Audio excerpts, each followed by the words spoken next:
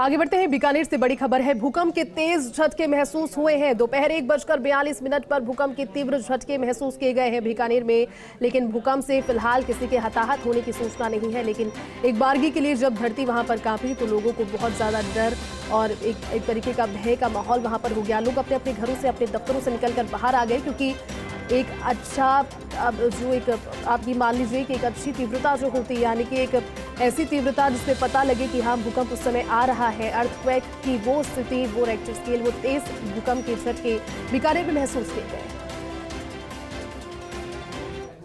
चलिए आपको बताते हैं संवाददाता जियाउद्दीन खान की एक्सक्लूसिव रिपोर्ट निवाई में भूमाफिया का नया ऑफ़र मंदिर माफ़ी की ज़मीन पर शुरू किया है ऑफ़र खंडदेवत रोड पर जालंधरनाथ मंदिर की ज़मीन को लेकर आरोप है। पैसे लाओ और एग्रीमेंट करवाओ और बन जाओ निन्यानवे साल के लिए ज़मीन के मालिक। ये अपनी ओर से एक नया ऑफ़र ये चला रहे हैं और ऐसे में कई भूमाफियाओं पर एग्रीमेंट करवाने के आरोप भी हैं। नियम विरुद्ध जाकर मंदिर माफ़ी की ज़मीन खरीद फरोख्त के आरोप इन पर लगे हैं। किसी पर फार्म हाउस तो किसी पर कॉलोनी काटने के आरोप हैं। गंभीर है क्योंकि रातों रात ज़मीन पर दुकानों के निर्माण का आरोप भी है कि रात की रात में ही इन दुकानों का निर्माण वहाँ पर हो गया, लेकिन मंदिर माफ़ी की ज़मीन थी।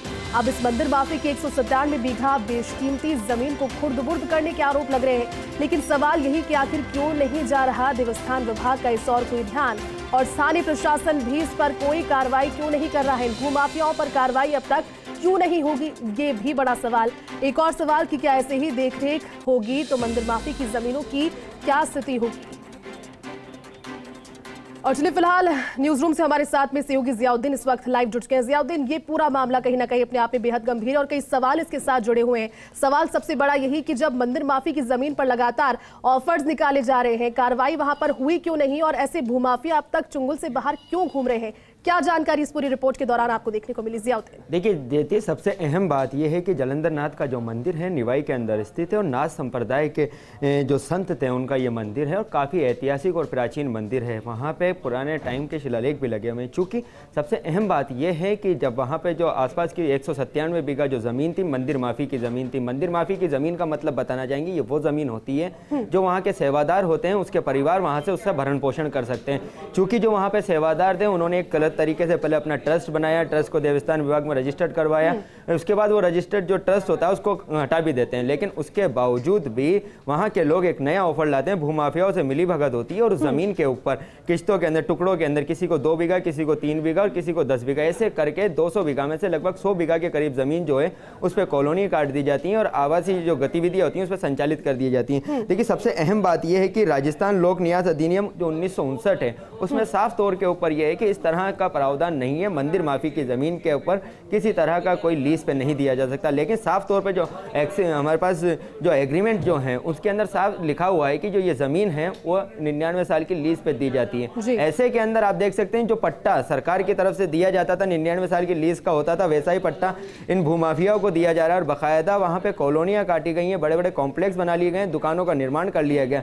और ये ऐसा नहीं कि रातों रात हुआ हो। पिछले कई सालों से ये खेल चल रहा था। इसको लेकर शिकायतें भी की गई, तमाम अधिकारियों को शिकायत की गई, लेकिन राजस्व विभाग के जो जिम्मेदार अधिकारी हैं, क्योंकि मंदिर माफ़ी की जो ज़मीन होती है, क्योंकि सरकार के अधीन में आती है, देवस्थान विभाग के अधीन में आती है, वो भी चुपचाप बैठे रहे। निवाई के राजस्व विभाग के जो अधिकारी हैं, वो भी चुपचाप बैठे रहे भू माफियाओं पर किसी तरह की कार्रवाई नहीं की। ऐसे के अंदर, नाथ संप्रदाय से जुड़े लोगों के अंदर नाराज़गी और उनका यही कहना है कि ये ज़मीन जो ऐतिहासिक मंदिर है जलंधर नाथ की, उसकी ज़मीन है, और ऐसे में इस पर कार्रवाई नहीं करना, कहीं ना कहीं अपना बड़ा सवाल खड़ा करता है। जेती देखती है, साफ़ तौर के ऊपर एक एग्रीमेंट जो दो तीन एग्रीमेंट हमारे पास हाथ लगे हैं। ऐसे ही कई दर्जनों एग्रीमेंट हैं जो जो वहाँ पे जो न, कह सकते हैं कि सेवादार जो हैं आस पावनाथ बुद्धि और अन्य जो लोगों की तरफ़ से भू माफियाओं को बेचे गए क्योंकि ये भूमाफिया प्रभावशाली हैं और कहीं ना कहीं उनके रसूख के आगे जो वहाँ का प्रशासन है वो भी नतमस्तक है और यही नतीजा है कि अब तक कोई कार्रवाई नहीं की गई।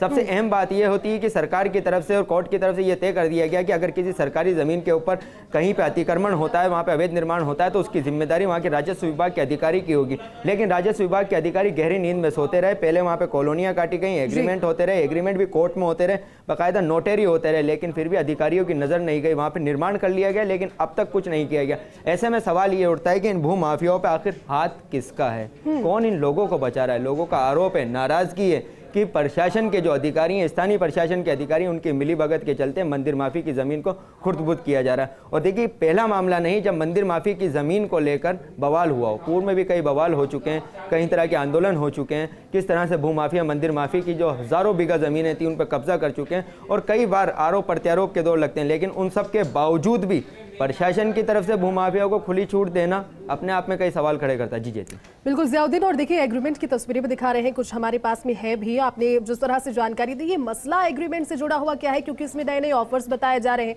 जनता अब जब इस चीज़ को लेकर पहले से ही त्रस्त है, और अब जब एग्रीमेंट सामने आ रहे हैं तो विश्वास उनका और हिला होगा। ये पूरी तस्वीरें देखने के बाद कि यहाँ बाकायदा पूरे ऑफर्स इसमें डिटेल के ज़रिए बताए गए। देखिए साफ़ तौर के ऊपर मंदिर माफ़ी की जो ज़मीन होती है जो उसका सेवादार होता है या मंदिर के जो ट्रस्ट होता है उसकी तरफ़ से जो भी होगा वहाँ पे अगर किसी तरह का कोई निर्माण करना भी चाहता है किसी तरह की व्यवसाय गतिविधि करना चाहता है गतिविधि भी करना चाहता है उसके लिए देवस्थान विभाग से परमिशन लेना पड़ती है और दो साल और पाँच साल मतलब दो साल तो उसको व्यवसायिक गतिविधियों के लिए पाँच साल उसको कर्षित करने के लिए उसको दे सकते हैं। लेकिन यहाँ पे जो सेवादार हैं आज बुद्धिपाव और उनके जो चेले हैं उनकी तरफ़ से एक एग्रीमेंट लिखा गया अलग अलग लोगों को एग्रीमेंट लिखा गया टुकड़ों के अंदर किसी को दस बीघा किसी को तीन बीघा किसी को बीस बीघा। और बताएँ ज़मीनों की कीमत भी लाखों रुपए के अंदर बताई जा रही है। उस ज़मीनों की कीमत के अंदर साफ़ तौर के ऊपर आप देख सकते हैं कि जो एग्रीमेंट हुए हैं उन एग्रीमेंटों में लिखा हुआ है कि निन्यानवे साल की लीज पर दिया जाता है। तो किस हद से लीज पे दे सकते हैं? क्योंकि वो ज़मीन मंदिर माफ़ी की है वो ज़मीन देवस्थान विभाग के अधीन आती है।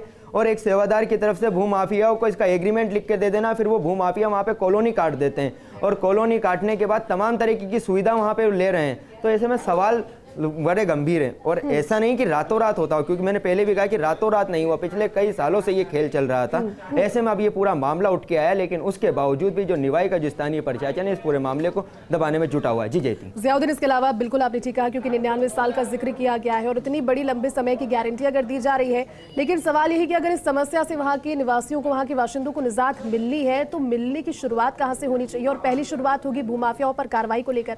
देखिए देवस्थान विभाग को जब इस मामले का नोटिस में आया, चूँकि इस मामले के नोटिस में आने के बाद देवस्थान विभाग निवाई के जो एसडीएम है और तहसीलदार है, उनको कार्रवाई करने के लिए लिखते हैं। काफ़ी दिन हो जाते हैं, लेकिन अब तक कार्रवाई नहीं हो पाती।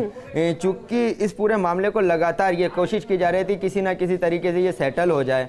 ये पूरा मामला सामने ना आए और इसके ऊपर जो निर्माण हो चुके हैं उन निर्माण को अवैध बनाकर हम्म। आने वाले वक्त के अंदर किसी तरह का कब्जा बता दिया जाए। चूँकि हमने कई पहले मामले देखे चाहे वफ का मामला हो या मंदिर माफ़ी की मस्जिद का सॉरी मंदिर माफ़ी की जो ज़मीनें हैं उनका जो मामला हो उनके ऊपर पहले ये होता है कि कब्जा किया जाता है निर्माण किया जाता है काफ़ी दिनों तक रहा जाता है फिर कोर्ट की शरण ले ली जाती है और उस पर स्टे ले आया जाता है। क्योंकि इसी तरह का मामला भी यहाँ पे सामने आया है मंदिर माफ़ी की जो इस ज़मीन के अंदर फ़िलहाल आरोप जो हैं उसके बाद इस तरह के हालात हैं लेकिन अब तक कोई कार्रवाई नहीं होना। तो ज़िम्मेदारी बनती है राजस्व विभाग की एसडीएम की वहाँ के तहसीलदार की और जिला प्रशासन की इसके ऊपर कार्रवाई की जाए। और सबसे बड़ी ज़िम्मेदारी बनती है देवस्थान विभाग की जिसके ऊपर सवाल कई हैं और सवाल सारे गंभीर भी उम्मीद करते हैं कि इन सवालों के जवाब जल्द मिलेंगे और कार्रवाई जिन लोगों पर होनी चाहिए जिन भूमाफियाओं का ज़िक्र हम कर रहे हैं उन पर जल्द से जल्द ये कार्रवाई होगी भी। बहुत बहुत शुक्रिया पूरी जानकारी के लिए जियाउद्दीन और साथ।